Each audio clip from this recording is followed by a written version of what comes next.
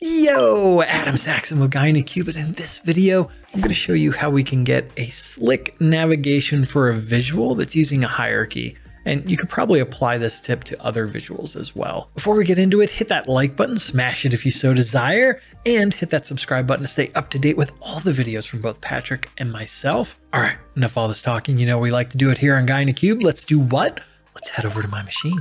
This is the visual I want to create. The type of visual, the bar chart, that doesn't matter. It could be any type that you want. What I really want to call out to you here is the fact that we've got a navigation of sorts where we can go from category to subcategory to product. And this is actually traversing a hierarchy for my products. Shout out to Chris Hamill, who actually created this. And when Patrick and I were looking at it, we're like, how did he do this? And so we had to deconstruct it to figure out. And then we were like, on the visual itself for the category, we were doing a demo of sorts. Let me go to Power BI desktop here. And what I was thinking, I'm like, all right, for the category, I want this to be a line chart. And then when I go to subcategory, it'll still be a bar chart. So I wanted to show like you can have different visual types. And so I hit subcategory and I'm like, wait a second, it's still a line chart. What's going on? And then it dawned on me, this is just the same visual. There's only one visual. Let's go back to our bar chart and let's actually see how we can create this. So let me go and create a new page. We'll just get started fresh. Walk you through all the clicks here. First, we're to bring in our items here. So we're to bring in total sales amount and we're to bring in our product category. And this is an actual defined hierarchy. So we'll bring that in.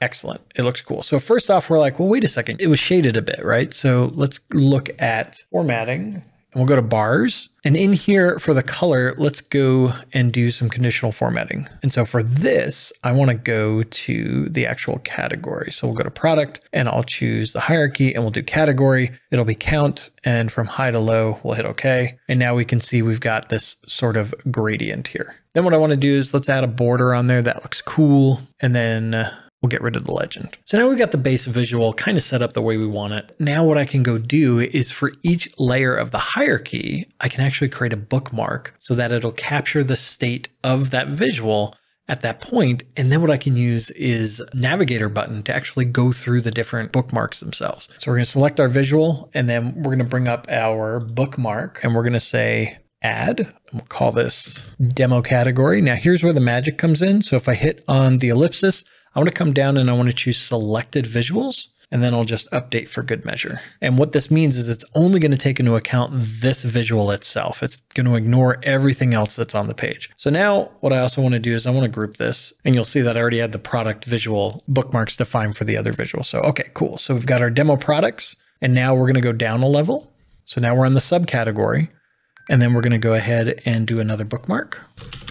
I'm going to make sure it's selected visual update, add it into the group, and now we'll go down to product name. We'll add, do a visual, and then we'll update. And then when we switch between these, you'll see that it goes from category to subcategory to product. That in itself is magic. We can basically change the context of the visual from a bookmark perspective, which we've showed in other videos. And depending on your hierarchy, this may or may not be something you want to go to. And yes, I can already feel all the comments down below like there's other ways you can do this. There absolutely is. And if that option works better for you, go that route. So let's get to the button, right? That's the fun part here. So let's go to insert and we're going to go to buttons and we're going to come down to navigator and bookmark navigator. Wow, look at that. Personally, that looks ugly to me, but we'll make it look really pretty. So the first thing we're going to want to do is choose bookmarks, and then we're going to come down and say only pick our group that we created. So now it's just showing these items. So now if I go to category and I'm holding control down because I'm in Power BI desktop, I go to subcategory, I go to product, go back to category. This is doing exactly what I wanted it to do. So now what we want to do is we want to come down and style this up a little bit. So for default, we're going to do text and we're going to get rid of the border. And then the other thing we're going to do is add padding of four pixels to push it down a little bit. That's great. Let's bring this over here. Next, what we're going to do is play around with the selected item. So if we go to selected, we'll do transparency of nothing. And then we're going to change the font color to blue. We're going to make it bold. And then for the hover, we're going to change the fill to white. And we'll change the transparency all the way to 100%. That doesn't look like it's doing anything, but trust me, it will.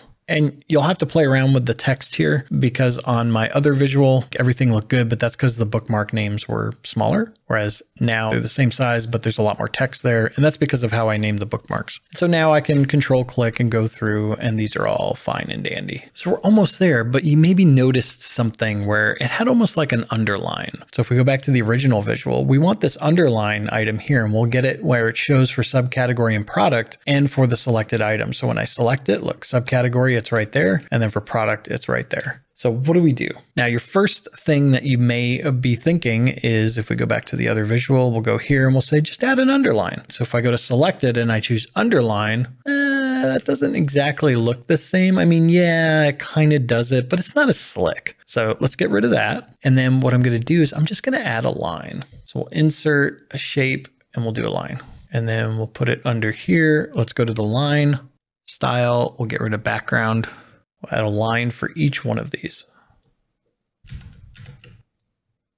All right. And then what we want to do is come to format and we're going to select the button navigator and we're just going to bring that to the front. Bam. And now when we hover over, because of the transparency on the fill, we get that little underline effect. And when I go to that and we switch them, everything looks good. I would say with any good visual design, it's going to involve tinkering. And that's part of the fun, right? Getting it to look a certain way and it makes it pop a little bit in my perspective. And again, all of this is subjective, but I thought it was a cool trick to leverage bookmarks for the hierarchy navigation as well as this little underline effect. Let me know in the comments what you think. I'm sure there's other ways to do this. If you've done this a different way, let us know. Let's keep the conversation going. And above my head, there's going to be another video you can watch on a topic related to Power BI or Microsoft Fabric definitely go check that out as well. As always, thank you so much for watching. Keep being awesome, and we'll see you in the next video.